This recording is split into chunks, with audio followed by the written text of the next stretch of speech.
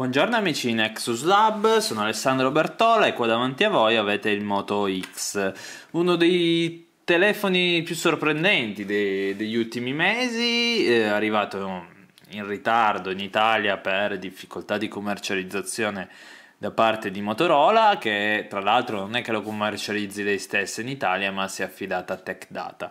Um, Moto X quindi un dispositivo che rilancia la, la, casalata anche da noi, non forse come sta facendo il Moto G ma eh, con comunque ottimi risultati. Eh, manca il Moto Maker, eh, piccola nota, il Moto Maker è ehm, la piattaforma web che ci permette di configurare l'estetica del nostro dispositivo dispositivo Moto X, in Italia e anche nel resto d'Europa eh, non è disponibile tale piattaforma e quindi il Moto X ce lo dobbiamo prendere un po' eh, con poche varianti, non come le oltre 2000 varianti che è disponibili col Moto Maker. Ma andiamo a vedere eh, in sostanza cos'è questo Moto X. Scatola, scatola piuttosto grande eh, considerando le dimensioni limitate del eh, Moto X, cavetto USB, micro USB, carica batterie da viaggio e ehm, spillo per mh, mm, aprire lo slot per la eh, micro SIM. Eh, non è presente eh, le cuffie auricolari in questo dispositivo, sinceramente scelta che è piuttosto opinabile come al solito, eh, Mo- Motorola ma come la stessa Google danno per scontato che noi abbiamo a disposizione uh, delle cuffie ma magari non abbiamo a disposizione degli auricolari. Um, Qua davanti a voi, eccolo qui, eh, il Moto X, molto compatto, molto simile al Moto G, eh, estremamente compatto, eh, un telefono d'altri tempi, nel senso ormai tutti mh, tendono ad avere telefoni ultra sottili e, e ultra grandi. Eh, il Moto, Motorola invece mh, ha ancora eh, limitato le dimensioni e creato qualcosa di leggermente diverso. Ci troviamo infatti di fronte a un'altezza di 129,3 per 65,3 mm di larghezza per 10,4 mm di spessore, il tutto in 130 grammi di peso. Allora, struttura molto solida, materiali veramente resistenti ehm, e eh, purtroppo di, eh, dispiace non poter godere del Motomaker perché ci sono una scelta di materiali eh, praticamente sconfinata. Eh, parte frontale è piuttosto, piuttosto, classica, bordi leggermente arrotondati, piacevoli. Eh, parte sinistra della cornice è quasi pulita, ci troviamo solo lo slot per la ehm, per la micro SIM, a destra troviamo il bilanciere del volume, il tasto di blocco sblocco, in alto jack per ehm, le cuffie eh, le cuffie auricolari e sotto troviamo il connettore USB eh, micro USB.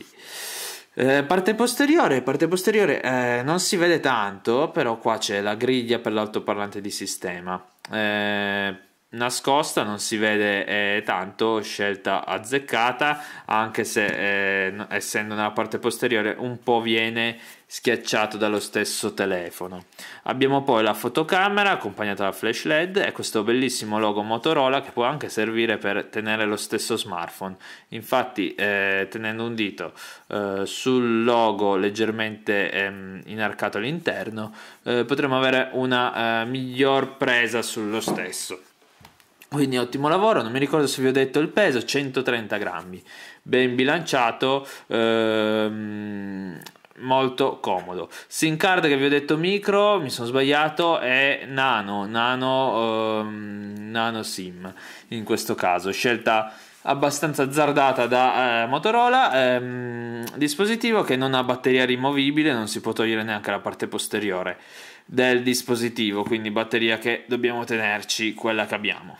Allora, come potete vedere, prima di passare all'hardware puro e crudo, um, volevo farvi vedere la uh, modalità intelligente di notifica. Uh, come potete vedere in questo momento il telefono è in fase di riposo ma se lo prendo lui automaticamente capisce che io l'ho preso. Nel caso ci fosse qualche notifica, lui me la eh, riporterebbe con lo slide a sinistra, eh, slide basso, scusate, mentre per eh, sbloccarlo normalmente potrei fare un altro tipo di slide. Um, eccolo qui. Allora, display, eh, volevo passare anche all'hardware perché l'hardware è, è particolare come eh, lo stesso smartphone in sostanza. Abbiamo uno Snapdragon S4 Pro Plus da 1.7 GHz come processore principale. Poi abbiamo un piccolo processore proprietario Motorola ehm, che gestisce tutte le operazioni in background, dall'ascolto continuo a pro, eh, proprio la notifica intelligente, come avete appunto visto in questo momento. Ehm, processore che eh, quindi permette un risparmio energetico notevole eh, e di eh, non far spendere troppo il processore principale che eh, serve solamente eh, per la gestione vera e propria del telefono quando noi lo usiamo. Ehm, display, display che è, è un AMOLED piuttosto piccolino eh, considerando i concorrenti, un AMOLED da 4.7 pollici, ehm, 1280x720 la, ehm, diagon- la um, risoluzione. Eh, leggermente limitata questa risoluzione, infatti è una delle maggiori critiche che si possono muovere a questo eh, display, però display che rimane con un angolo di visione eh, elevatissimo neri bellissimi e estremamente luminoso. Faccio, intanto che parliamo di display, aumenta la luminosità, veramente luminoso e piacevole, veramente piacevole. Rimettiamo una luminosità senza accecarvi. Um, volevo farvi vedere eh, un po' l'interfaccia. Chi ha un Nexus o chi usa un Android quasi puro eh, vedrà subito come KitKat in versione 4.4.2 si presenti praticamente eh, a, a, di base. Eh, Motorola infatti, a parte le sue applicazioni e le sue personalizzazioni in background, a livello estetico non aggiunge praticamente niente.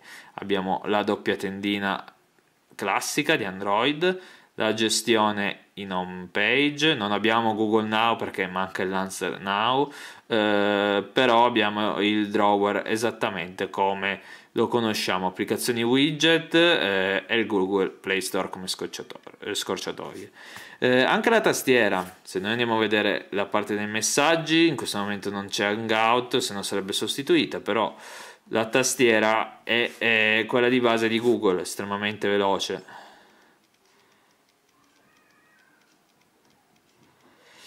Tra l'altro è uno dei touch più uh, reattivi che abbia provato nell'ultimo periodo, veramente veloce, è un piacere scrivere con lui, soprattutto col piccolo feedback tattile che dà, ehm, che dà il senso di quando noi andiamo a eh, cliccare con il nostro dito sulla tastiera. Dialer, anche qua eh, basilare, eh, non troviamo personalizzazioni e come browser web troviamo Chrome. Passiamo però agli elementi distintivi. Eh, prima di passare all'ascolto continuo, la chicca di questo dispositivo, vorrei parlarvi di Assist. Assist che è praticamente è una, è una funzione molto utile, funziona molto bene che praticamente ci consente di eh, impostare particolari comportamenti in particolari situazioni. Per esempio, ci troviamo alla guida, al volante, eh, gli indichiamo al telefono, guarda, eh, comunicami i messaggi tramite eh, comunicazione vocale. Quindi arriva una notifica, arriva un sms, tac, lui direttamente eh, mi dice, mi detta il messaggio, molto comodo. Ehm, come potete vedere inoltre c'è anche l'ascolto della musica noi eh, magari utilizziamo il, lo smartphone il Moto X in questo caso come riproduttore eh, musicale principale in macchina cosa che tra l'altro con jack ehm, lui non dice con le cuffie ma con jack cuffie quindi tramite il jack magari attaccato all'autoradio o via bluetooth quando noi partiamo, eh, lui in automatico riprodurrà la musica eh, in modo da eh, partire in automatico, magari con l'ultima playlist, l'ultimo brano ascoltato. Anche questo funziona molto bene. Riunione, riunione, lui si interfaccia con calendar. Se siamo in una riunione va in silenzioso e magari possiamo anche impostargli delle risposte automatiche se in quel momento ci arrivano delle, degli sms. Ehm riposo, riposo prevede in pratica il, ehm, la modalità silenzioso eh, da una certa ora a una certa ora, eh, questa modalità un po' meno intelligente, cioè siamo noi che impostargli un range di, eh, di tempo, però eh, funziona comunque molto bene. Andiamo ora a scoprire l'ascolto continuo. Ok, Google Now, trovami il telefono.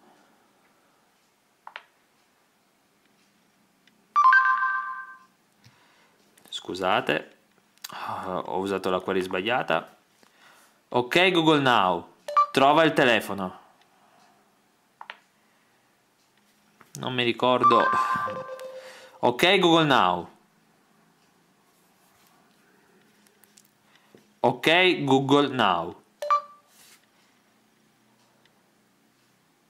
Come potete vedere, lui in automatico si sblocca. Noi stiamo, lo stiamo tenendo da qualche parte in casa, eh, da qualche altra parte eh, non lo troviamo. Ehm, se io pronuncio per esempio aiuto,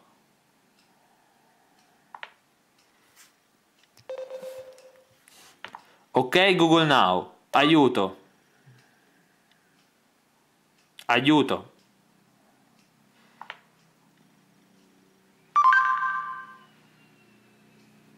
Allora, questi sono i comandi che possiamo fare, imposta promemoria, fai domande, prova le azioni vocali, eh, possiamo ricercare risultati. Eh, questo è tutto quello eh, che possiamo fare eh, con lo sblocco intelligente del telefono. Questa è un'azione molto esosa a livello energetico perché lui il telefono è continuamente in ascolto ehm, ci consente soprattutto in auto magari eh, anche con diverso rumore di, di fondo funziona molto bene, eh, di chiamare un contatto, eh, di, ehm, eh, di poter inviare un sms, mettere un appuntamento. Per esempio, ok Google Now, inserisci appuntamento alle ore 17.40 domani.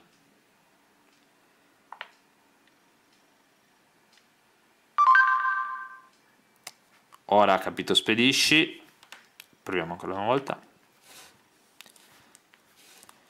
Ok Google Now, invia sms.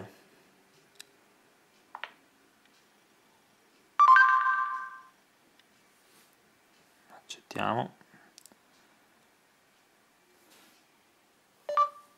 Mamma.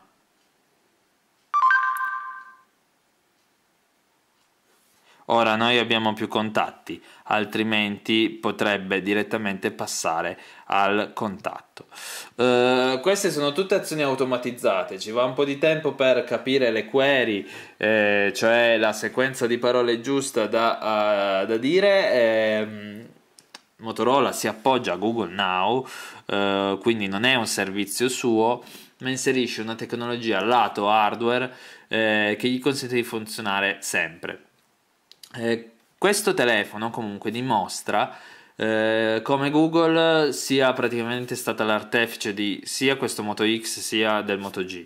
L'interfaccia infatti minimale di Android super aggiornata ci mostra subito come il, um, il, eh, il focus sia stato proprio Android puro, aggiornamenti veloci, fluidità di sistema e ehm, inoltre mh, mm, azioni verso i servizi di Google.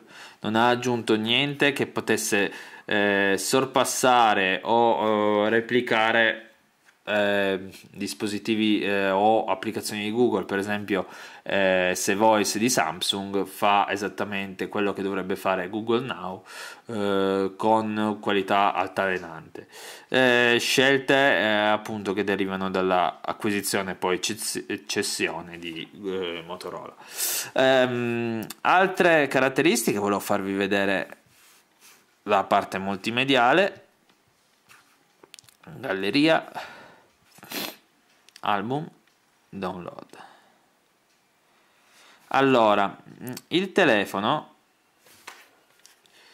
si è dimostrato sin da subito un po' problematico nella riproduzione degli, M, degli, M, degli avi avi che in effetti non si sono fatti, eh, non siamo riusciti a farli riprodurre dalla galleria. Eh, cosa che con qualsiasi lettore esterno può essere assolutamente superata, però è da segnalare questa cosa l'MP4 nessun problema eh, mentre il, eh, il, gli avi eh, non, non, ci vengono neanche visualizzati nell'elenco. Questo è il video presente di default. Puntata precedente. Questo è di default nelle nostre prove. Questo è un AVI che abbiamo abbassato di qualità e siamo riusciti a visionarlo. Altrimenti se non l'avessimo abbassato di qualità eh, non riuscivamo a visionarlo. Non sappiamo se è il problema di questo AVI ma con altri telefoni non abbiamo avuto problemi. Strano comunque questo tipo di difficoltà.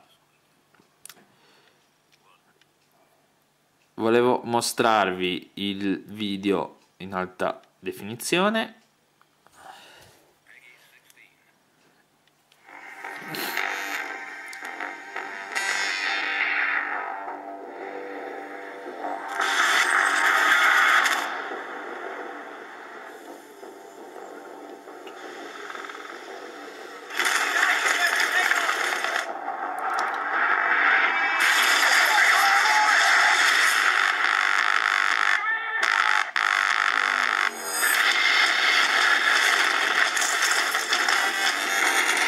ok ve l'ho fatto rimanere un po' di più per farvi ascoltare anche l'audio. Audio che è estremamente buono.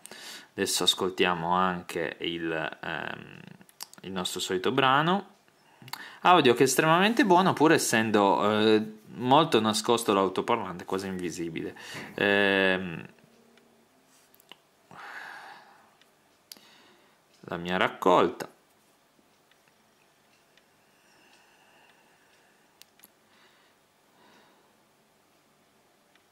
ok.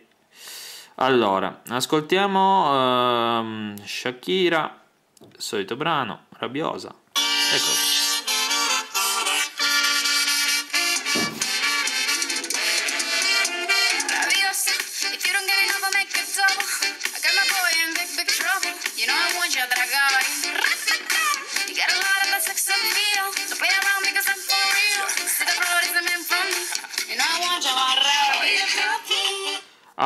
come potete sentire, l'audio è veramente buono, sia uh, nei toni alti che nei toni bassi. Naturalmente il tono basso non è profondo come una cassa dedicata, però mh, mm, qualitativamente è molto buono.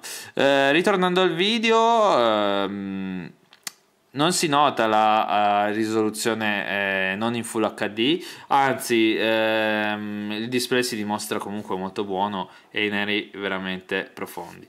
Troviamo anche Spotlight che ehm, è un piccolo, è un piccolo praticamente eh, accessorio simpatico di ehm, realtà, eh, realtà aumentata, come potete vedere è un giochino che ci, che ci aggiunge Motorola a, dove dobbiamo cercare l'insetto, il simpatico animaletto tramite la realtà aumentata scorrendo il telefono. Niente di particolare, ma uh, mm, niente di particolare, comunque è un'opzione eh, carina andiamo sul, um, su Chrome e navighiamo su Nexus Lab. Eccoci qua. Allora navigazione estremamente veloce e fluida. Come potete vedere il sito si adatta benissimo al, al, al telefono abbiamo qualche rallentamento forse sta caricando qualcosa in background però navigazione più che fluida proviamo ad andare per esempio su questa notizia del G3 appena pubblicata dove vediamo che il rendering è rapido pinch to zoom anche e la gestione degli elementi interattivi è piuttosto veloce. Quindi assolutamente niente da dire. Eh, fotocamera, fotocamera che ehm, ha i suoi alti e ha uh, i suoi bassi, sinceramente forse un po' più uh, bassi eh, per un dispositivo che è, ha comunque un sensore da 10 megapixel. Sensore da 10 megapixel che mh, mm, fa il suo, bene il suo lavoro con tanta luce, un po' lento nello scattare. E, mh, mm, purtroppo non, cioè, nella concorrenza troviamo di meglio, mm, sinceramente. Eh, allora, abbiamo tutte queste impostazioni che possono essere visualizzate tramite lo slide sinistra-destra dello schermo, mentre facendo così possiamo vedere direttamente la galleria. Galleria, galleria foto, slide.